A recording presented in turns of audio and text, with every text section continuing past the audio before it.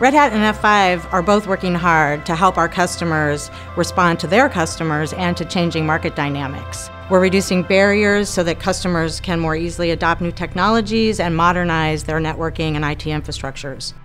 At F5, we believe in listening to the voice of the customer. Listening to what our customers tell us that they need from us for them to be able to drive their enterprises forward. Most customers know what they want to do in the cloud, but they face challenges in migrating those workloads. They don't want to have to completely retool or rebuild policies and solutions.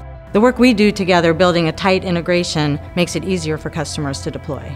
In the beginning, the primary focus of our partnership was helping customers stand up private cloud environments with OpenStack. More recently, our primary focus has been helping our customers to containerize their environments with OpenShift enabling them to take advantage of automation with Ansible, including the instrumentation of application services from BIG-IP. The work we do together enables tighter integration, which makes it easier for customers to deploy. It's obvious to us and to Red Hat why we need to be working together on behalf of our customers, and that's why we've been doing so for over five years.